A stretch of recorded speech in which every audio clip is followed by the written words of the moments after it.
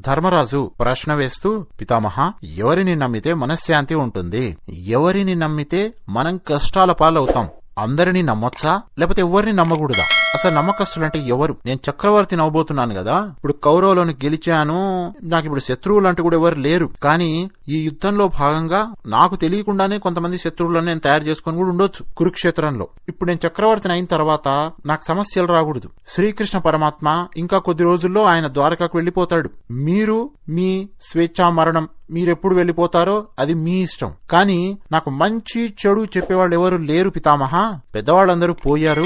ఇక మీరు కూడా వెళ్ళిపోయారంటే నాకు మంచి చెడు చెప్పేవాళ్ళు ఎవరు ఉండరు. ఎవరిని నమ్మితే మనశ్శాంతి ఉంటుంది ఎవరిని నమ్మితే కష్టాల పాలవుతాం. దయచేసి చెప్పండి పితామహ అంటాడు ధర్మరాజు. భీష్ముడండి అంపచే మీద పడుకొని ఓ పక్క బాణాల బాధను ఓర్చుకుంటూ మరో పక్క చిరునవ్వు నవ్వుతూ సమాధానం చెప్తాడు. ఓ కథ చెప్తాడు. ఈ కథ మహాభారతం శాంతి పర్వంలో ఉంది. ధర్మరాజా చాలా మంచి ప్రశ్న వేశావు. పూర్వం బ్రహ్మదత్తుడు అనే ఒక రాజు ఉండేవాడు. ఆ రాజు ఒక చిలుకను పెంచి పెద్ద చేశాడు. ఆ చిలుకతో స్నేహంగా ఉండేవాడు. ఆ చిలుకకు ఒక పిల్ల పుట్టింది. దాంతోపాటు ఆ బ్రహ్మదత్తుడు. ఆ రాజు కూడా ఒక రాజకుమారుడు పుట్టాడు. ఆ రాజకుమారుడికి దాదాపు పదేళ్ళ వయస్సు ఉంటుంది అప్పటికే. వాడు ఈ చిలుక పిల్లతో ఆడుకుంటూ ఉండేవాడు. ఆ చిలుక తన పిల్లను రాజకుమారుని ఇద్దరిని సమానంగా చూస్తూ ఉండేది. చిలుక బయటికెళ్ళినప్పుడు అద్భుతమైన ఫలాలు ఏమన్నా కనిపిస్తే ఒకటి కాదు రెండు ఫలాలను తెచ్చేది. ఒక ఫలం రాజకుమారుడికి మరొక ఫలం తన కుమారుడికి ఇచ్చేది చిలుక. అడవికి వెళ్ళి అందమైన ఫలాలను ఎన్నెన్నో తెస్తూ ఉండేది. మామూలుగా భటులకు సాధ్యం కాని ఫలాలను చిలుక మోసుకొచ్చి ఆ రాజకుమారుడికి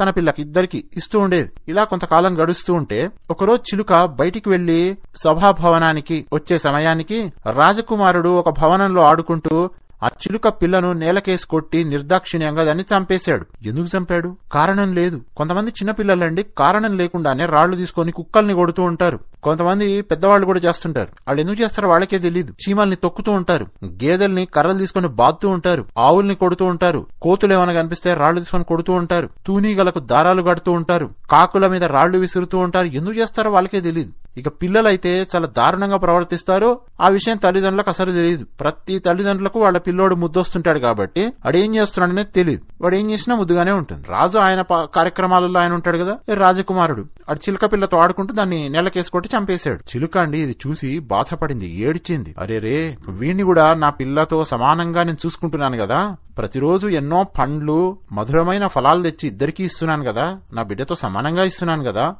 వీనికి ఎన్నో విషయాలు చెప్తున్నాను కదా? వీడు నిర్దాక్షిణ్యంగా నా బిడ్డను చంపేశాడేంటి అని చెప్పి ఆలోచించడం మొదలెట్టింది చిలక. నిజానికండి ఈ చిలక రాజుగారికి ఎన్నో గొప్ప గొప్ప విషయాలు చెప్తూ ఉండేది. విశ్లేషణ సామర్థ్యం ఉంది పూర్వజన్మ జ్ఞానం ఉంది మాట్లాడుతూ ఉండేది. ఇతరులు ఎవరో చెప్పిన విషయాన్ని తిరిగి వల్లవేయడం కాదు. చిలుక తాను విశ్లేషించి ఎన్నో విషయాలు చెప్తూ ఉండేది. అలాంటి విజ్ఞాని జ్ఞాని ఈ చిలుక. ఇప్పుడు ఈ చిలుక పిల్ల మరణించింది. వెంటనే అండి చిలుక కోపం వచ్చి రాజులు ఇంత దారుణంగా ప్రవర్తిస్తారా? రాజు మంచివాడే కానీ వీడేంటి ఇంత దారుణంగా ఉన్నాడు పిల్లోడు? వీడికి జాలి లేదా దయ లేదా? వీడు పెద్ద పెరిగిన తర్వాత ఇంకెంత దారుణంగా తయారవుతాడో? సరే అవన్నీ నాకెందుకు? నా పిల్లను వీడు పొట్టన పెట్టుకున్నాడు. వీడి సంగతి ఏందో నేను తేలుస్తాను. అని వెంటనే అండి చిలుక రెవ్వున వేగంగా దూసుకొచ్చి వాడి అయిన తన గోళ్ళను వాడి రెండు కను గుడ్లలో దింపేసింది చిలుక. వాడి ఎడమ కనుగుడ్డు నుంచి కుడి కన్నుగుడ్డు నుంచి రక్తం కారడం మొదలయ్యింది. రెండు కనుగుడ్లు వాడివి నుజ్జు నుజ్జైపోయాయి చీల్చి పారేసింది చీలిపోయాయి. వాడు కెవ్వున కేకబెట్టాడు అరిచాడు ఏడ్చాడు నేల మీద పడి తన్నుకుంటున్నాడు.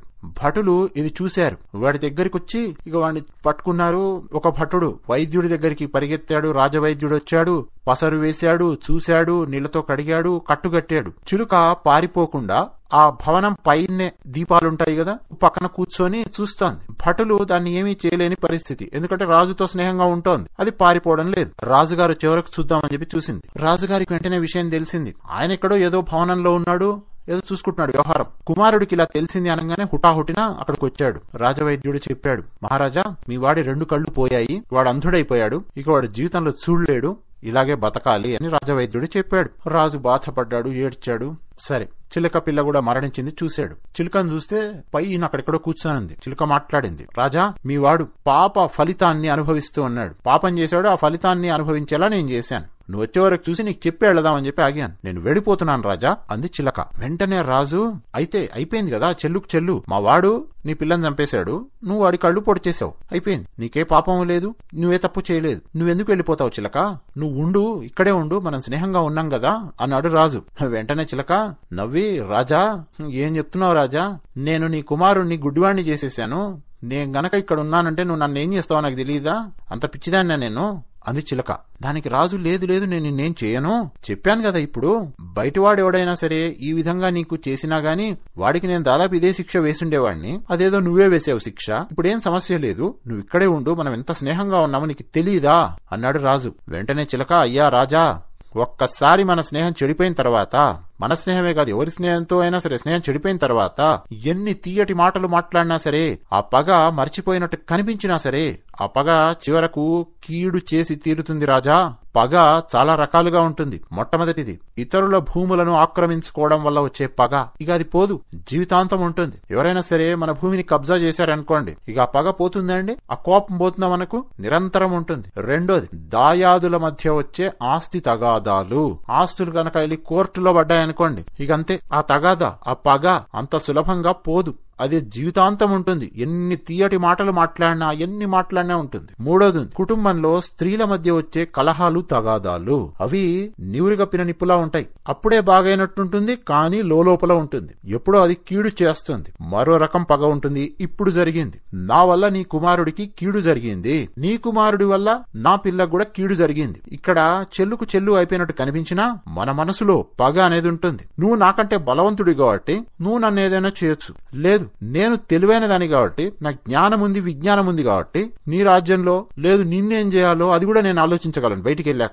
ఎందుకు ఇదంతా రాజా? వద్దే వద్దు. ఇప్పటివరకు మనం స్నేహంగా ఉన్నాం. ఈ సంఘటన జరిగింది. స్నేహం చెడిపోయింది. ఇక చాలు. నేను నీ దగ్గర ఉండను. నేను వెళ్ళిపోతాను. మరో రాజ్యానికో మరో ప్రాంతానికో ఏ కొండల్లోకో అరణ్యాల్లోకో నేను ఎక్కడికో వెళ్ళిపోతాను. ఇక్కడ మాత్రం ఉండను రాజా. వద్దు అంది చిలక. రాజు చాలా చాలా చెప్పడానికి ప్రయత్నం చేశాడు. కానీ చిలక వినలేదు. లేదు. లేదు రాజా నువ్వు ఏదో మాట్లాడుతున్నావు గాని నీ మాటల వెనక పగ నాకు కనిపిస్తోంది ప్రతీకారం కనిపిస్తోంది ద్వేషం కనిపిస్తోంది నీ శరీర తత్వంలోనే నాకు కనిపిస్తోంది నీ మాటలు తీయగా ఉన్నాయి నీ కళ్ళు ఏం చెప్తున్నాయో దాని వెనకేముందో నేను చూడగలను. వద్దు ఈ స్నేహం ఇంతటితో చాలు నేను వెళ్ళిపోతున్నాను అని చిలక రివ్వున ఎగిరి వెళ్ళిపోయింది. ఇదంతా అండి భీష్ముడు ధర్మరాజుకు చెప్పి ధర్మరాజా బాగా గుర్తుపెట్టుకో ఈ కథ గుర్తుపెట్టుకో. ఈ కథలో ఏం జరిగింది? చిలుక పిల్లను రాకుమారుడు చంపాడు రాకుమారుడి కళ్ళు చిలుక పొడిచింది చెల్లుకు చెల్లు అయిపోయినట్టు కనిపించింది. కానీ అది పోదు. అది పోదు. నువ్వు ఒక్కసారి చక్రవర్తిగా సింహాసనం మీద కూర్చొని పట్టాభిషేకం చేసుకోగానే ప్రతి ఒక్కడు నీకు శత్రువు అయిపోతాడు రాజా ధర్మరాజా. ప్రజలలో నిరంతరం ఏవో అసంతృప్తులుంటాయి. నువ్వు ఎన్ని చేసినా సరే ఏం చేసినా సరే అగ్నిలో గనక నెయ్యి పోసినట్టే ఉంటుంది. ప్రజల్లో రకరకాల మనస్తత్వాలు ఉన్న వాళ్ళు ఉంటారు రకరకాల పైత్యాలు ఉన్న వాళ్ళు ఉంటారు నిరంతరం అసంతృప్తి అసంతృప్తి అసంతృప్తితో ఉంటారు. నువ్వు వాడికి రోజు పంచభక్ష పరమాన్నాలు అందివ్వగలిగేంత అద్భుతంగా పరిపాలన అందించినా నాకు ఇంకా అది ఇవ్వాల్సింది కదా ఇది ఇవ్వాల్సింది కదా అంటాడు. వాడికి అది ఇవ్వాలి ఇది ఇవ్వాలని అన్ని ఇచ్చినా ఇంకేదో కావాలంటాడు. ప్రజల యొక్క కోరికలన్నీ నువ్వు తీర్చుకుంటూ కూర్చున్నావంటే రాజ్యం అనేది సాగదు. రకరకాల సమస్యలు వస్తాయి. ప్రజలను నమ్మకు. ఒక కంట కనిపెడుతూ ఉండు. ఎవరిని నమ్మకు? నీ కింద ఉండే అధికారులు భటులు ఎవరిని నమ్మకు. అందరినీ గౌరవించు అందరినీ నమ్ముతున్నట్టుండు. వాళ్ళ గౌరవాన్ని ఇవ్వు గౌరవాన్ని తీసుకో నమ్ముతున్నట్టుగా ఉండు. ఎవరిని నమ్మకు. అలా ఉంటేనే నువ్వు నిరంతరం అప్రమత్తంగా ఉంటావు ధర్మరాజా. లేకపోతే మాత్రం చాలా కష్టము. చక్రవర్తి సింహాసనం అనేది అలా ఉంటుంది ధర్మరాజా. అప్పుడే నువ్వు ధర్మాన్ని నాలుగు పాదాల మీద నడిపించడానికి నువ్వు ఆలోచించగలుగుతావు. లేదనుకో అవతలోడు తీయగా మాట్లాడుతున్నాడని చెప్పి నువ్వు నమ్మడం మొదలెట్టావంటే అది నీ సింహాసనం మీదికి నీళ్ళు తీసుకొస్తుంది నీ సింహాసనమే కొట్టుకుపోతుంది. ఆలోచించుకో. ఇలాంటివి నేను ఎన్నో చెప్తూ వచ్చాను కాబట్టే ఇలాంటివన్నీ నేను చూసుకున్నాను కాబట్టే ఇన్ని రోజులు హస్తినాపుర సింహాసనాన్ని నేను కాపాడుతూ వచ్చాను ధర్మరాజా అని భీష్మ పితామహుడు ధర్మరాజుకు ఉద్బోధ చేశాడు శాంతి పర్వంలో. ఇప్పటివరకు నేను చెప్పిందండి అధికారంలో ఉన్న ప్రతి ఒక్కరికి వర్తిస్తుంది. సర్పంచ్ అయితే ఆయన గ్రామం వరకు ఎమ్మెల్యే ఎంపీ ముఖ్యమంత్రులు ప్రధానమంత్రి స్థాయి నుంచి అంటే అందరికీ వర్తిస్తుంది. సమర్థవంతమైనటువంటి ప్రధానమంత్రి ఉన్నాడు అనుకోండి అంతకంటే అసలు విపరీతంగా అసంతృప్తులు రకరకాలవి బయలుదేరుతూ ఉంటాయి. మెల్లిగా కిందికి దింపడానికి ఏదో చేయడానికి ప్రయత్నాలు జరుగుతూ ఉంటాయి. ఎందుకంటే దుష్ట శక్తులు ఎప్పుడూ కూడా సమర్థవంతుడిని సింహాసనం మీద నుంచి కిందికి దింపి వాళ్ళు ఎక్కడానికి ప్రయత్నం చేస్తూ ఉంటారు. అది జరుగుతూ ఉంటుంది. అందువల్ల నిరంతరం అంటే అప్రమత్తంగా ఉండాలి అధికారంలో ఉన్న వాళ్ళు అని చెప్పడానికి భీష్మ పితామహుడు ఈ కథ చెప్పాడు.